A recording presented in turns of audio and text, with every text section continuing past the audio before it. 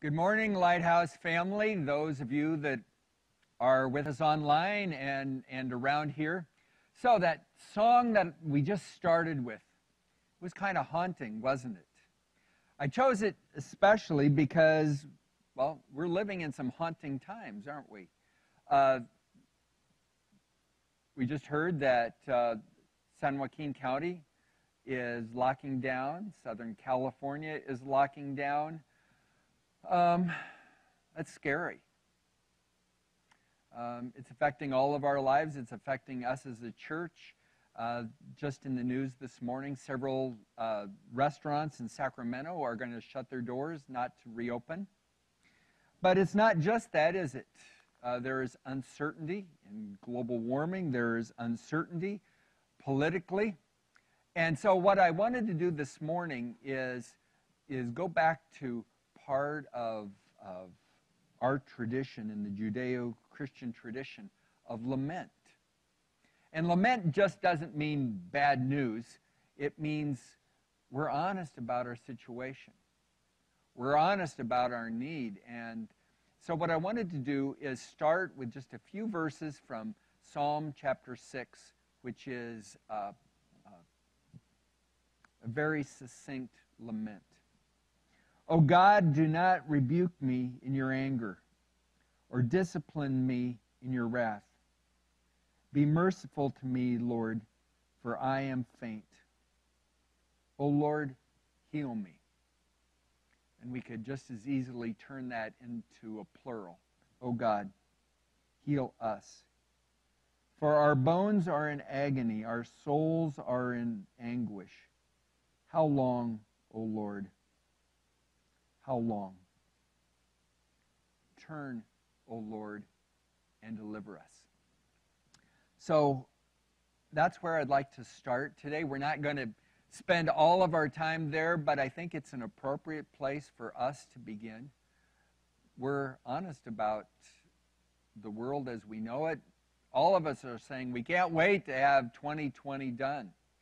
Um, God, we we know that we are facing physical problems. We know that we are facing spiritual and moral problems. And we want to just sit with our situation before you. So before I pray, I want you to watch one more song, one more video, just to kind of prepare us for this morning. And it is called simply Lament. Please lament with me.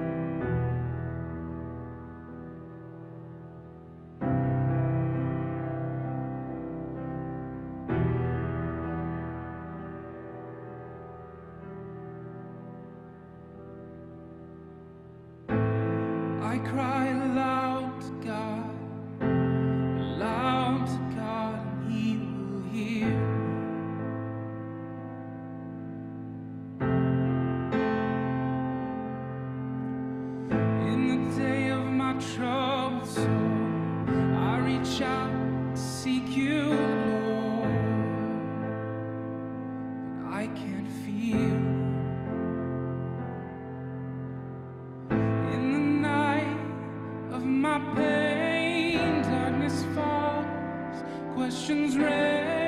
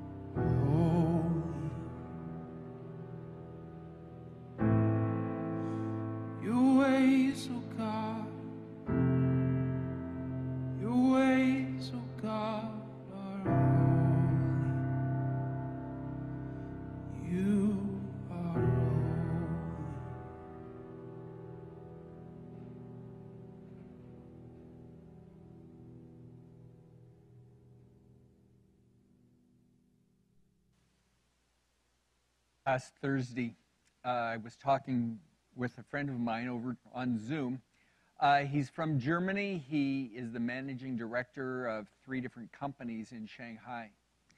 Uh, and I got to know Bernd when we were in India, and every once in a while we talk about what he sees from, from his vantage point in another part of the world. And he said, he said, Phil, we're looking on, and he goes, I don't think you realize that how all the world is watching America right now. And he said, it, it feels to us like uh, the sun is setting on America. And he goes, You understand that I don't mean that in a way of being critical, right? And I said, I, I understand that, Bernd. And he said, The other thing I don't think that you realize is that America, uh, the rest of us, we're depending on you. And America needs to be good. Whoa. You're sitting there and you're hearing somebody say that who is for you. They are a friendly critic. And it brings me back to if my people who are called by my name will humble themselves and pray. And that's not about power, I think it's about spiritual influence. And when God said that originally, it was to the Jewish people of my people.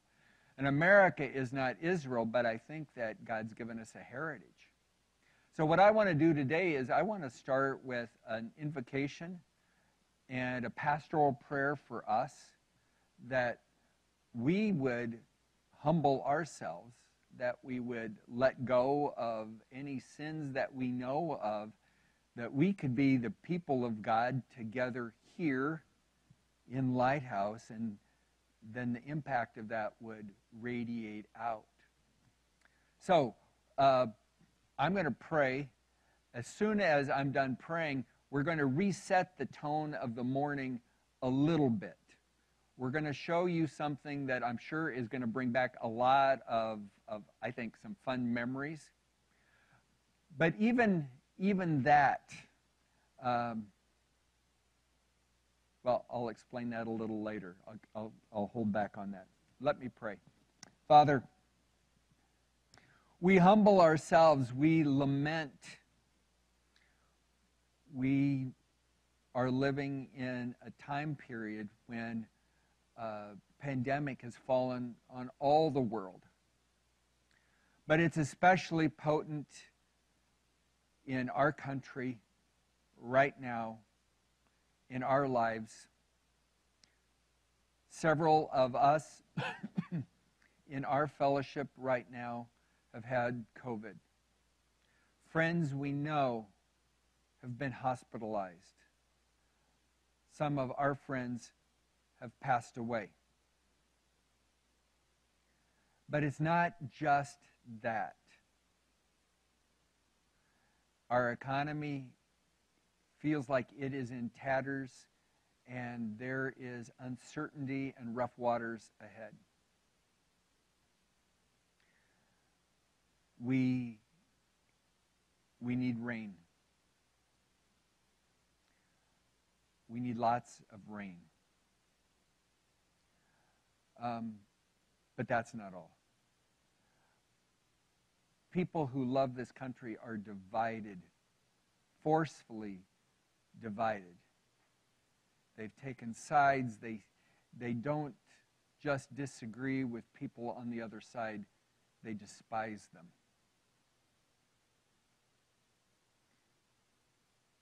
And we are as polarized now as I have ever seen in my entire life.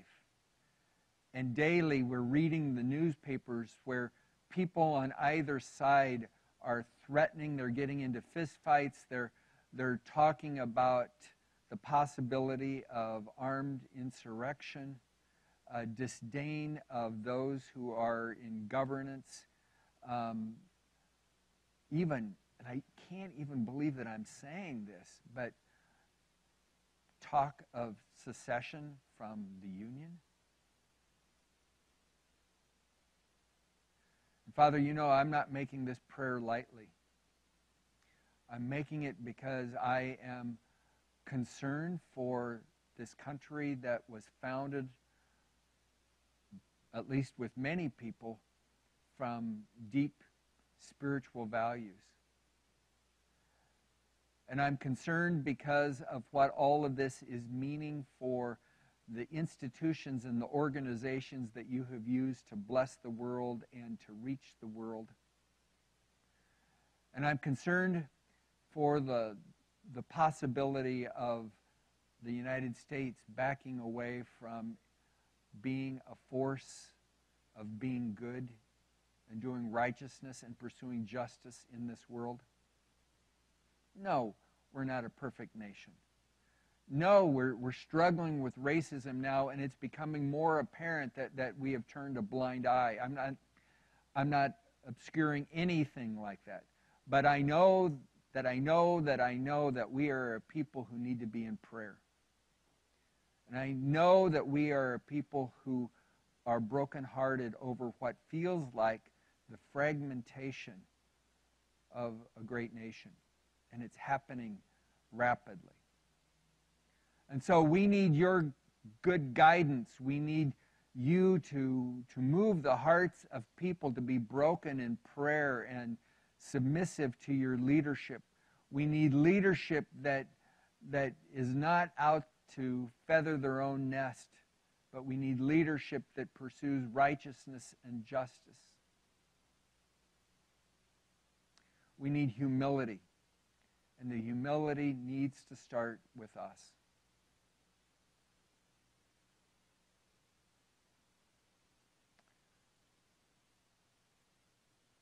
Make it so in our lives. And may it ripple out from your people. And Father, I pray for those of us who are living right now trapped by fear. Fear that we might get COVID 19, fear of, of the days ahead, fear over our futures.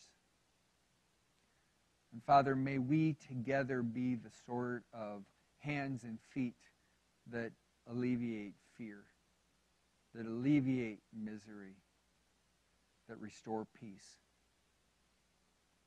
that rebuild community. And as we move from lament, thank goodness lament isn't the end of our story, it's the beginning of our story. And as we move from lament into the hope that we have this Christmas, Father, use the Christmas story and then use the songs that we will be singing to shape and form and, and develop our worship this morning. And I pray this in Jesus' name. Amen. So, like I said, I want to show you um, something that is going to be familiar to a lot of you. Uh, you can probably even quote it along with the young gentleman as he says it.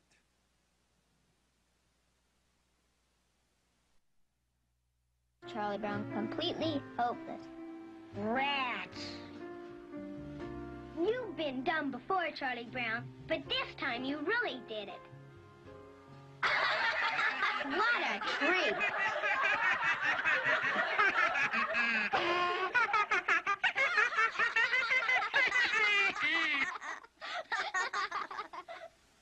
I guess you were right, Linus. I shouldn't have picked this little tree. Everything I do turns into a disaster. I guess I really don't know what Christmas is all about. Isn't there anyone who knows what Christmas is all about? Sure, Charlie Brown. I can tell you what Christmas is all about.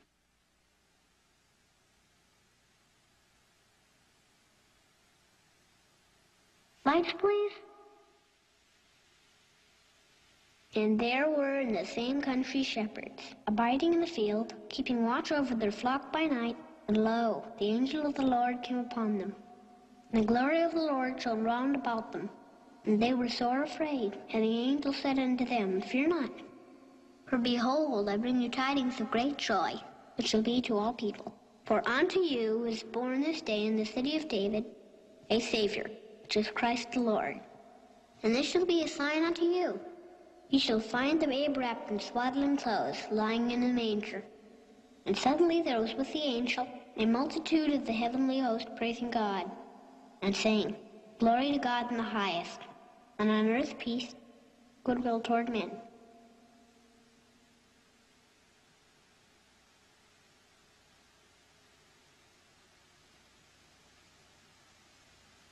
That's what Christmas is all about, Charlie Brown.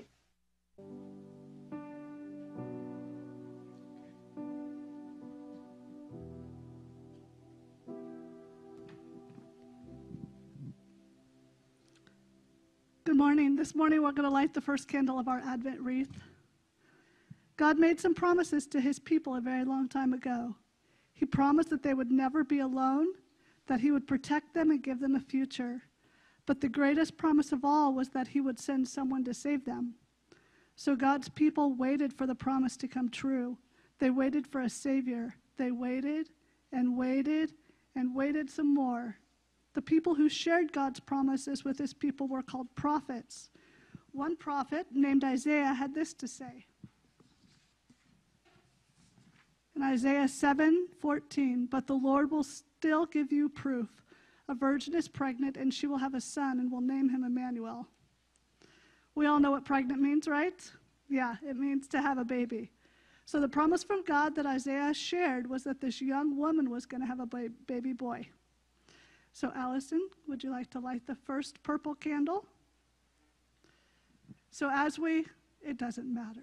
Does it matter? I don't know if it matters. We're going to do this one. Okay. Do you know how to do that? Yeah, yeah.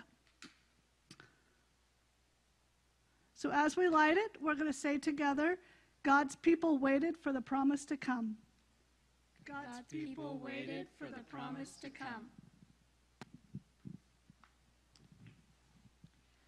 Another prophet had, his, had this message from God Bethlehem Ephrath, if you are, you are one of the smallest towns in the nation of Judah, but the Lord will choose one of your people to rule the nation, someone whose family goes back to ancient times. Micah 5 2. You guys have heard of Bethlehem, right? That's where Jesus was born different prophets told us that, G- that God promised that in Bethlehem a baby boy would be born, a baby boy that would be named Jesus and be the Savior. Do you think that God is, was going to keep his promise? Yes, but it took a very long time. That's why we're only lighting one candle today. We have to wait to light all of our candles, just like God's people had to wait for their Savior.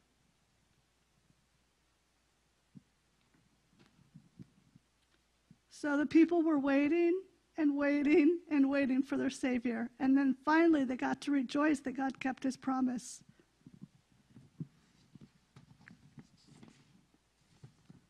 Let's pray. Thank you, God, for keeping your promise to send a Savior. Help us to wait for you this season and to rejoice in what you do in our lives. Amen.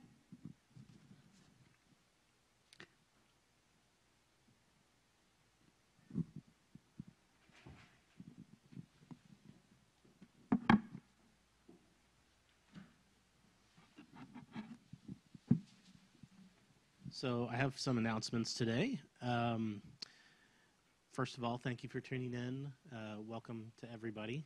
Um, we won't be having our normal Christmas Eve service, uh, but we will be having a Christmas music night. That's this Friday, December 11th, from 6:30 to 8 p.m. And uh, please let us know if you have uh, any needs. Um, please email us or, or contact us.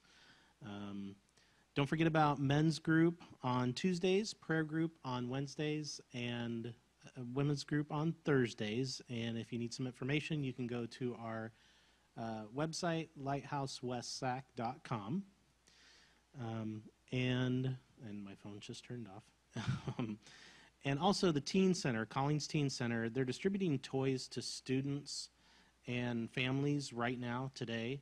Um, and Justin said that they really need five or six more volunteers today at 1 or 2 p.m. to help with the cleanup.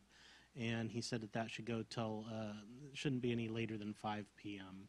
Um, so if you'd like to help with that, contact Lena Hughes for more info. Or just go to City Hall, Lena says. Um, let's see, any more? Um, no. And uh, if you'd like to join me in prayer, I'd like to pray for Phil as he comes up. Heavenly Father, we just praise you and thank you for the incredible blessings that you give to us each day. Um, we just pray that, um, and one of those blessings is is Phil, our transitional pastor, and, and we thank you for you bringing him to us.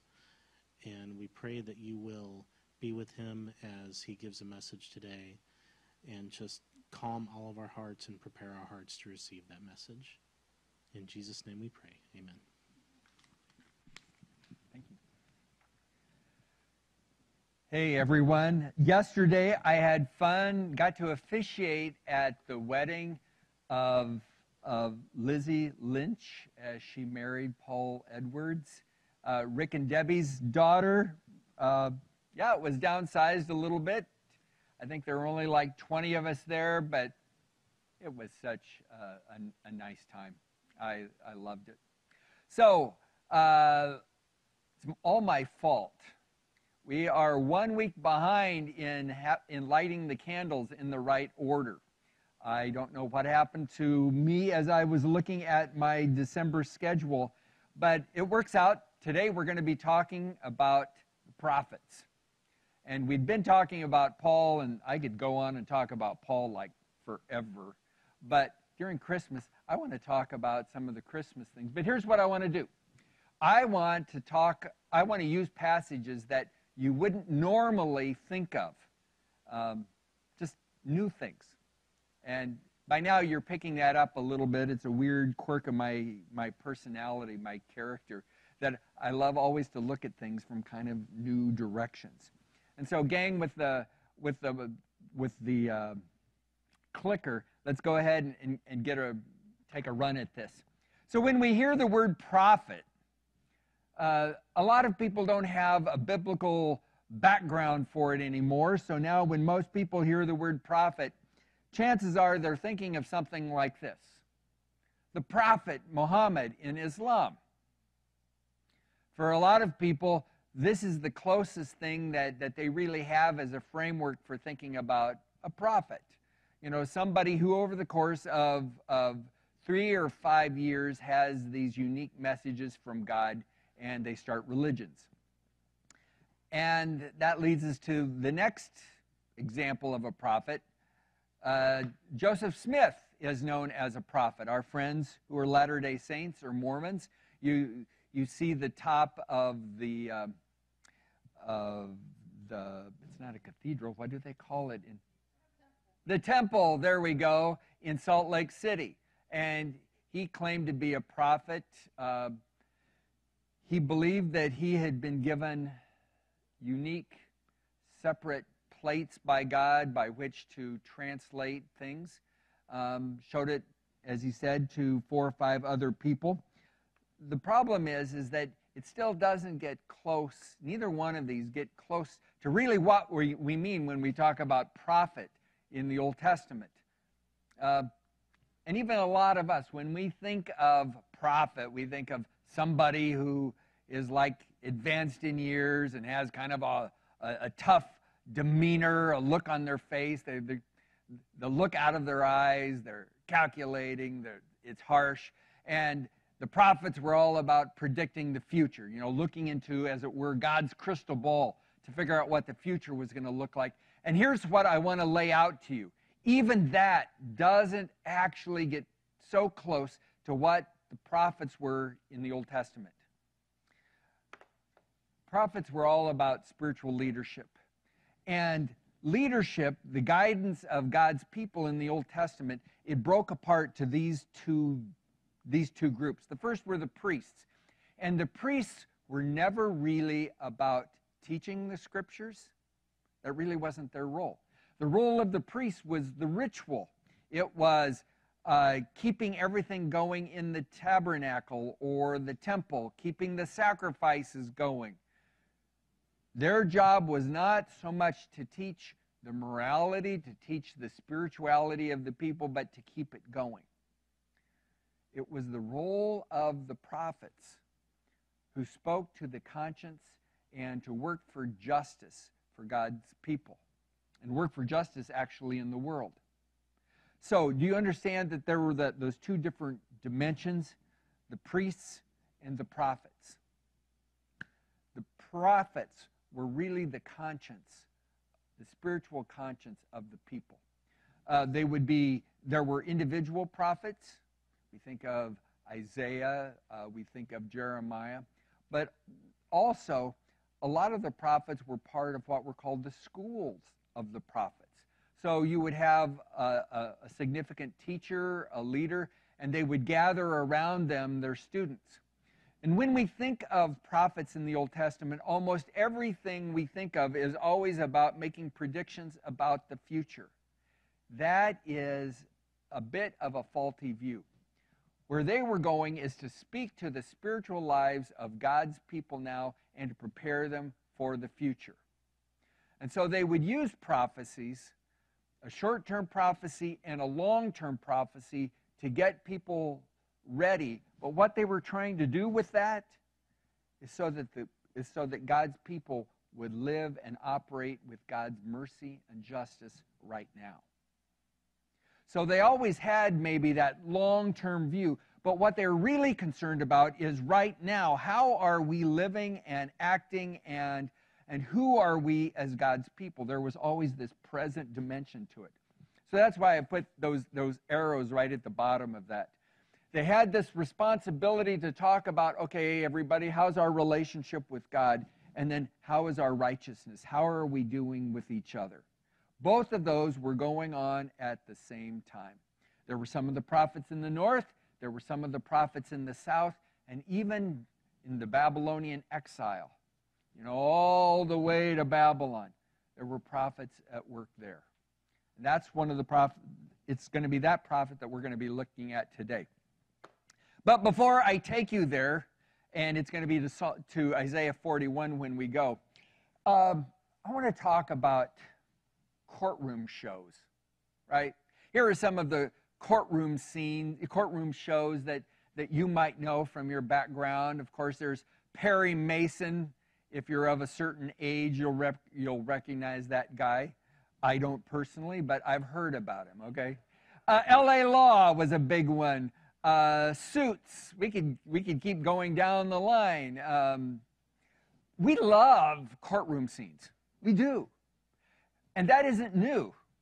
That's people have been fascinated by justice and courtroom scenes going back into history. Still, even more recent days, in Arab cultures, the, the sheikh, the, the guy in charge of the village, the guy in charge of the region, once a week, he will have an open courtroom that anybody can come and bring their issues before him. Even the, the major people in charge of Saudi Arabia, they make sure that there is open courtroom. And in an age when there's not Netflix, everybody wants to come and figure out how he's going to rule on, on different family situations or when somebody's goat ate somebody's whatever. Everybody's kind of involved in all of that. Well, what we do when we come to Scripture, we've got situations that are courtroom scenes. And they're kind of gripping. And in Isaiah 41, it's this amazing courtroom scene where here are all of these people stuck in Babylon. And they're kind of angry at God. And so it sets up this courtroom situation where people are going, God, have you forgotten us here? We are 700 miles away from our homes. We've lost our livelihoods. Have you forgotten us? Are you done with us? You're not treating us fairly. What did we do to ever deserve this? And it's a courtroom scene, Isaiah 41. And God is the one in the dock. Uh, dock is the word used in England for the, the accused. They're accusing God. But what God does is that he flips it. And he gives and he presents a counter charge. And he accuses them of idolatry. Now, most of the time when we hear the words idolatry, what do we think of? Oh, the little brass statue on your, on your shelf, or the little thing that you, that you burn incense to every day. Usually that's how we think of idolatry. But already by the time of Isaiah, they were moving past that, and idols were the things that you loved more than God. It was about your affections. I'm not looking at the camera enough. Sorry about that. Okay, I'll look at the camera more. See, I just, these folks out here are so good looking. If you saw what I saw, they were just mesmerizing. So now, uh, I'm back with you because I'm picturing that you're all there and equally attractive and beautiful and handsome and good looking. Okay, how is that for being political? Oh my goodness. So I was getting wrapped up there. But, so, courtroom scene. People are angry at God. There's a prosecuting attorney, and God says, No, let me speak to my own defense. All of this that you're seeing, you've got a part in it. It's idolatry. It's that you've fallen in love with things that have taken over your life. And so you don't have the capacity to honor me and walk with me. Because what does God want? Is God just wanting people going, I love you, God, I love you, God, I love you, God? No, no, no, no. What God wants is relationship. And He's saying that what you've fallen for are things that have somehow watered down any real relationship with me. You're turning to them. You're putting your hopes in that stuff rather than hopes in me. And as a result, if there's no relationship, my protective hands over you, I'm just going to put my hands down to my side and let what happens happen to you. No, I did not cause your exile to Babylon. But if you've forgotten me, if you have no need for relationship with me, I'm going to let the stuff just happen.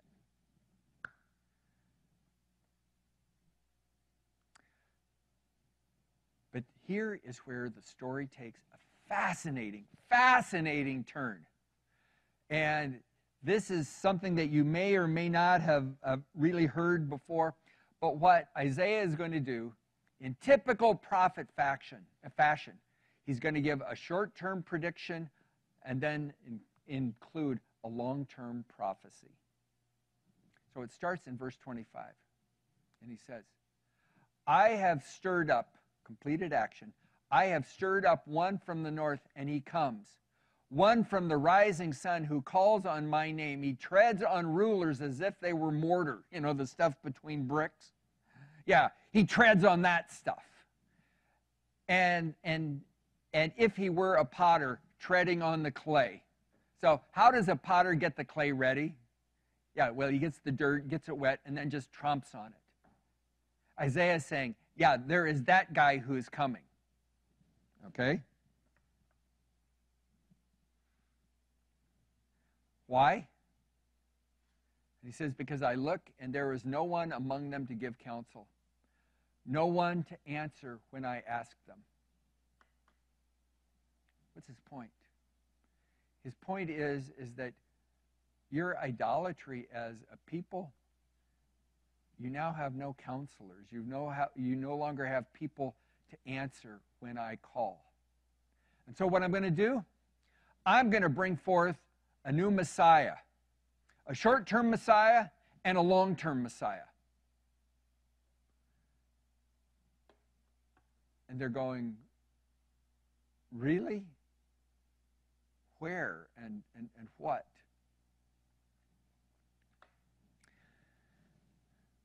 He's pointing to somebody from Iran called Cyrus. It's the only time in the entire Old Testament that a non Jew is called a Messiah. And Cyrus is going to be the guy who finally sends the children of Israel back to Israel. He gives them money to rebuild their temple. He sends some of his people, and he becomes known as this great ruler that God is going to use. Amazingly, God calls him his Messiah, his anointed one. But there is always a short term and a long term. Because while there is an initial Messiah, a, Cyprus, uh, a Cyrus sort of person, there is going to be someone who takes it even further. Isaiah 42, verses 1 through 4. Here is my servant who I uphold, my chosen one, in whom I delight. Now, before I go any further, folks, I got to say, this is fascinating. That God would say that there is someone who is not a Jew who I delight, who I will put my spirit on him. We were talking about this in our class, Discipleship Pathways, earlier today. The emphasis on God's heart for the nations. And this is pretty staggering. That even at this stage, God says, No, I'm going to use someone you would never imagine. I am going to use a secular leader. I will put my spirit on him, and he is going to bring justice to the nations because I care about justice for the nations. Amazing. He will not shout or cry out or raise his voice in the streets. A bruised reed he will not break, and a smoldering wick he will not snuff out. Uh, Phil, I don't, I, what, what's he mean there? That means that he's not going to be a dictator, a, a hard person who destroys people. Instead, he builds them up. In faithfulness, he will bring forth justice. He will not falter or be discouraged till he establishes justice on earth. In his teaching, the islands will put their hope. What does that mean? Well, when it talks about islands in Isaiah, what it's talking about people who live on the coastline and on some of those little islands right off the coast because they were the ones who were most vulnerable for from foreign armies coming in. And he's saying even the people who live on the coastline are going to be able to live in peace. The people who live in Santa Barbara and San Francisco, yeah, even them, they're going to be able to live in peace. Now, what's so interesting about that? For the Jews, all of a sudden they're understanding that our God is not a little local territorial God. And for most people, that's how they viewed it that there would be a God over Sacramento County, and a God over Yolo County, and a God over Plumas County. And what we're seeing here is, is Isaiah saying, no, this is a God who has a great purpose of blessing the nations. And he's not above using somebody who you might have originally seen as your enemy, but God will use them to bring about what does he care about? To bring about justice for people. And there's going to be a short term Messiah, Cyrus, and then there's going to be a long term Messiah, the one who will actually bring about God's justice in fulfillment. What makes this so great is that, well, before I go there, let me show you this too. I, I, I love it. Isaiah 42, same sort of courtroom scene, right? We've not moved away from it. This is what God the Lord says, the creator of the heavens, who stretches them out, who spreads out the earth with all that springs from it, who gives breath to his people and life to those who walk on it. I, the Lord, have called you in righteousness. And righteousness doesn't mean, oh, he keeps all of the rules. Nope. Righteousness meant a person who lives aligned with God and in right relationship with his neighbors. What was Joseph known as? He's known as a righteous man. I, the Lord, have called you in righteousness. I will take hold of your hand. I will keep you and make you to be a covenant for the people and a light for the Gentiles. Here we go again. This idea of God's concern for Gentiles. And Gentiles means peoples. Another word for it is the nations. I will make you the future Messiah to be a covenant for the people and a light for the Gentiles, to open the eyes that are blind, to free the captives from prison, and to release from dungeon those who sit in darkness.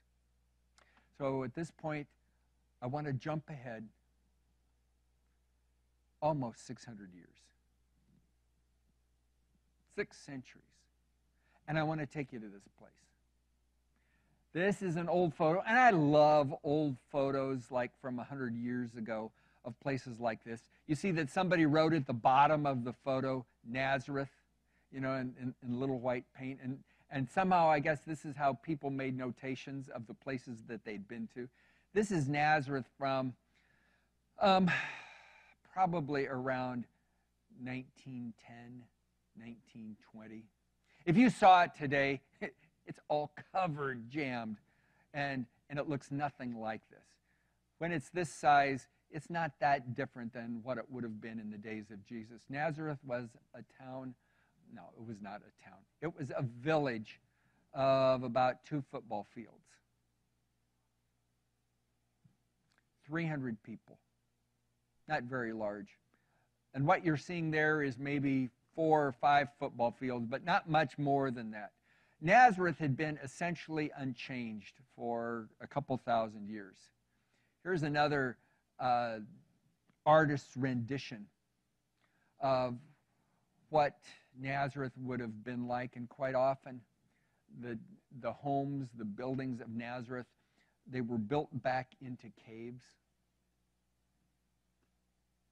So, for example, um, Joseph and Mary, when they returned to Nazareth, their home probably had a stone front to it, but it was built back into a cave. So, Luke chapter 4. Jesus has had some notoriety. He's been baptized by John, he's been teaching, he's been slowly assembling some of the first disciples, and he's done some miracles. Well, small little Nazareth, local boy made good, comes home. And of course, on Sabbath day, we want him to stand up and speak, right? And this is a big deal. So I imagine their synagogue was something like this um, small little dark room. And in the middle of the synagogue, inside there, would be the Bema, the we talked about it last week, a, a two to three feet, two by three feet. And there comes a point in a typical synagogue service when uh, the Old Testament, when the Torah uh, is supposed to be read, and the person in charge of the synagogue brings over to you the scrolls for that day. And you're to stand up and you're to read from them. But if, before you do, you stand up and you kiss the scrolls and you lay them down and you begin to read. So let me read that situation to you from Luke chapter 4. So it's probably fairly dark inside that room. Um, it's candlelit. How many people would be would be at synagogue? Well, if the town is only 300 people. Half of those are men, uh, are male. A smaller part of that would have been men. And because there's not a lot of other things to do on a Sunday, uh, on a Saturday morning in Nazareth, and Nazareth is known as an observant or a very religious village, you're probably looking at, oh, I don't know, 30, 40 men, tops, probably in there. So they're all packed in. Somebody has lit the incense, and if you've ever been in a room full of incense, you know that it's smoky and it smells like lots of bad perfume, you know, cheap perfume. And but you know, it's all part of your life and Jesus is here. Maybe that's a reason they had more people than normal there that particular Saturday. Jesus returned to the Galilee in the power of the Spirit. And news about him, uh, verse 14, and news about him spread through the whole countryside. He taught in their synagogues, and everyone praised him. He went to Nazareth, where he had been brought up, and on the Sabbath day he went into the synagogue as was his custom. Now, the inside of synagogues uh, they don't sit like this. They sit around the corners of the room, uh, around the perimeter of the room. If there are ladies, um, if you're there, there is a screen and ladies sit behind it. If it is a larger synagogue, maybe ladies, there is a second, there, there's a balcony for you up there. Nazareth, probably on the small side, probably poor people. So if there are any ladies there at all, you're behind the screen, maybe over in the corner. But again, you get the picture, right? You're the guys sitting around the perimeter of the room. They're talking sheep. They're talking weather. They, they do what farmers have been doing for thousands of years talking sheep, talking the projects, talking hobbies. they start with the song, they start with the candles, and there's kind of a bit of excitement in the air because Jesus, Jesus is here. And as was the custom, he stood up to read. The scroll of the prophet Isaiah was, handled, was handed to him. Unrolling it, he found the place where it is written The Spirit of the Lord is on me, because he has anointed me to preach good news to the poor. He has sent me to proclaim freedom for the prisoners and recovery of sight for the blind, to release the oppressed, to proclaim the year of the Lord's favor. Then he rolled up the scroll and gave it back to the attendant and sat down. The eyes of everyone in the synagogue, they were fastened on him. And he began by saying to them, Today, the scripture is fulfilled in your hearing. Now, at this, everybody's loving it. Local boy, made good. And he's telling us the future is in front of us right here. All spoke well of him and were amazed at the gracious words that came from his lips. Isn't this Joseph's son? They said. Now, as an aside, they didn't say, Isn't this Mary's son? Uh uh-uh. uh He's known as Joseph's boy. And they want, now, they're all waiting to hear. Okay, let's hear the commentary. Let's see what he's going to say on this. So far, so good. He's read Isaiah 41 and 42. And Jesus said to them, Surely you quote this proverb to me Physician, heal yourself. Do here in your hometown what you've heard that you did in Capernaum. I tell you the truth. The, no prophet is accepted in his hometown. I assure you that there were many widows in Israel in Elijah's time when the sky was shut for three and a half years and there was a severe famine throughout the land. Yet Elijah was not sent to any of them, but to a widow in Zarephath in the region of Sidon. And there were many in Israel with leprosy in the time of Elijah and the pro- Elijah the prophet, yet not one of them was cleansed, only Naaman the Syrian. Now, get the scene. This is important everything that Jesus had done is saying essentially, I am the person, and it's time to bring about all of those promises given to Isaiah. They're down with that. Why did they get upset? Why the anger? Because Jesus is saying, in my ministry, I'm not just going to be focusing on you.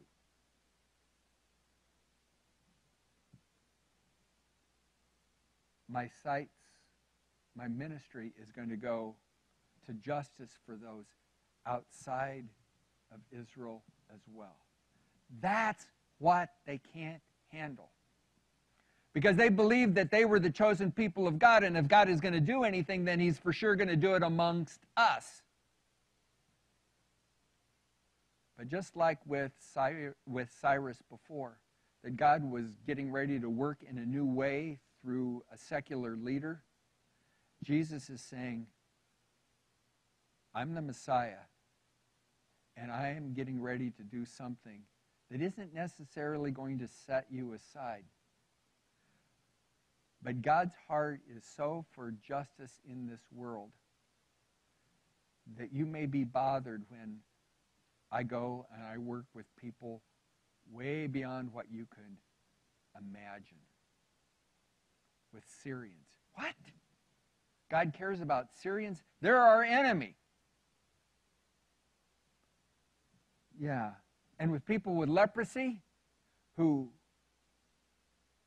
whose disease makes them abhor- abhorrent to us, yeah, I'm going to be working with them too.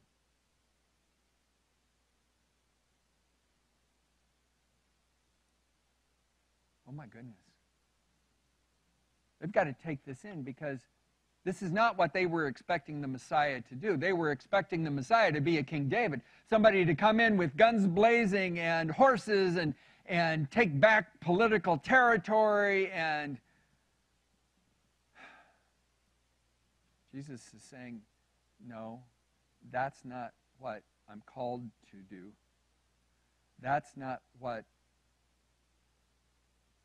I'm to be about. We are called to be pursuing justice. We are being called to offer kindness to those who are not us, those who don't look like us, those who don't speak the same language. Now, we talk about Jesus being a prophet and a priest and a king, right? Those are going to be his three assignments. But when you come back and you really look at how they understood the word prophet, Jesus is perfectly, perfectly in the line of an Old Testament prophet speaking to the people of God, saying, What our God calls for is a profound concern for peoples of all nations. God's heart is for the entire world, not just a small little subset of it. And God may be doing things and reaching people that we may not have anticipated at all. And God is at work in the lives of people. Maybe on your street, maybe in your school, maybe those with whom you work, and you don't even realize that He is at work in their lives yet. But God cares for all the peoples on the earth. Case in point, um, we have some friends who were um, foreign workers in Turkey for almost 20 years. And there can be a, a very strong us versus them when you're working in a culture that is so heavily involved in another religion. Um, in Turkey, it is something like 98% Muslim. And you can tend to think that, man, God isn't doing anything here and this is, this is hard. But one particular day, they heard a knock on their door.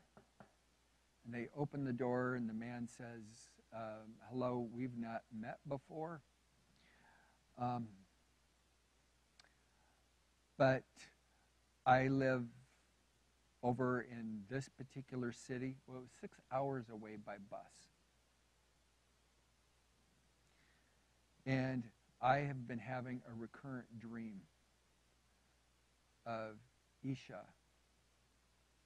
And in this dream, he tells me that I need to go to Istanbul to hear, to find someone who can tell me about Isa. So finally, not knowing anything else to do, I came here to Isa. I came here to Istanbul and met people, and those people told me about others who told me about others who told me about you. Can you tell me about Isa? Can you tell me about Jesus? Because that's what Jesus means in Arabic is Isa. And that opened up a whole new mindset for them that God is working in the lives of people that we may not even know about yet. That God is not limited by borders. God is not limited by um, economic systems. God is at work. So, how I would bring this down to a conclusion for us today is first of all, on one hand, this tells us about what God cares about. God cares profoundly about justice in this world cares about mercy, and, and the church needs to be involved in that.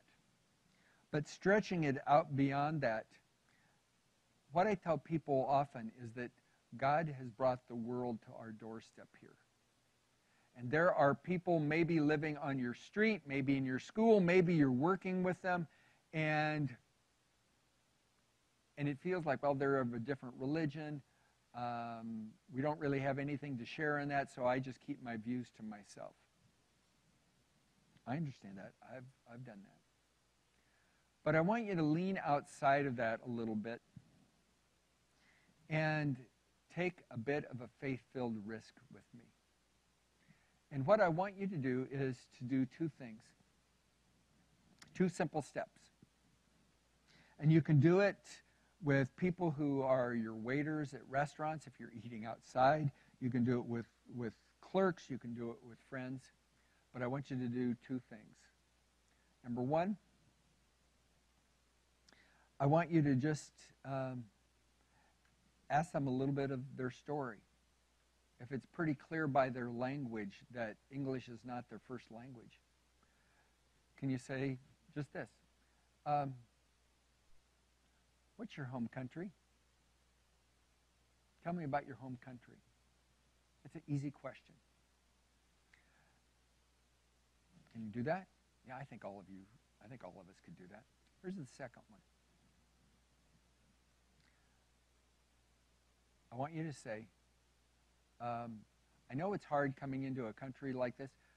Can I pray for you? And you go, Well, I could never do something like that. Yes, you can. And here's the thing that you need to understand. We get so used to using prayer language among ourselves that, that it really does not count for that much.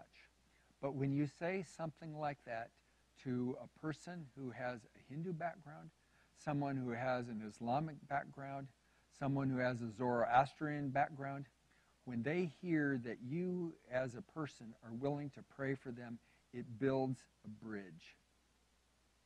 Or maybe you can even say, to take it even a step further on that question, you could even say, Is there anything I could pray for you on? And I can tell you what will happen. There will be like a 10 count where they're going to have to really think about it. But don't think for a moment that they are offended by that. It is just the opposite. How they will interpret it is this person cares about me. They care about my life. I've not asked you to do anything that is weird to them. They will embrace it, they will value it, and they will feel almost like it is that step of justice that includes them. Two things. Where's your home country? Tell me a little bit about it. I'd love to hear more.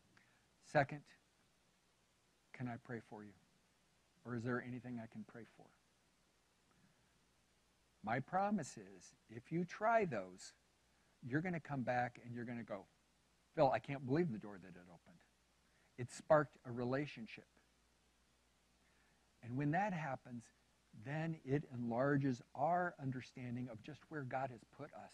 Because frankly, West Sac is this amazing place for where God has brought the world to our doorstep right here. And rather than seeing it as, as something uncomfortable and, and it's changing in front of us, it's exactly the opposite. We begin to see ourselves as, you know what? A lighthouse. Placed right here for God's purposes. Make sense? Yeah. God has called us, God is inviting us in his ministry of prophecy, not in predicting the future, but in being who we need to be right now. Living out his justice, offering justice and mercy for people that he cares about, who have probably gone through really, really hard times of leaving home, feeling like they don't fit, wondering if they are welcome here. You do just those two questions, and it changes things. All right, team, come on up, and and then I think your next song. I can't wait to hear it. I I know what we're we're doing. We're we're just showing you the, the slides while the team sings. But uh, I am so thankful, oh my goodness, for, for these folks because there is a sweetness as they lead us. God bless you, team. And um, I guess I'm telling you that that while you're not able to be here, they're still here and they're preparing us for the future and the quality of their leading us in our lives. I just appreciate it so much. So thank you, team. Let's sing. Micah 6 8 says, He has shown you, O mortal, what is good. And what does the Lord require of you? To act justly and to love mercy and walk humbly with your God. Lord, as we depart today, may we, as we enter this crazy Christmas season of 2020, may we remember that, that your hope has come because of Emmanuel. But because of that hope, we can go into our world and be hope to, to the nations. That we will act justly and to love mercy and walk humbly with you as we come in contact with people that are fearful, people that are hurting, people that are feeling very alone. Lord, may your may the hope of this Advent season be carried into our hopeless situations of COVID 19. May we have a peace that surpasses all understanding. And may we long for justice that we feel is, is so lacking. May we know that that is found only in your presence. We love you, Lord, and we thank you for this time that we were able to spend in your word and in your presence today. And as we depart into our weeks, Lord, may, may your truth and your hope and your justice be deep in our hearts. We pray these things in your name. Amen.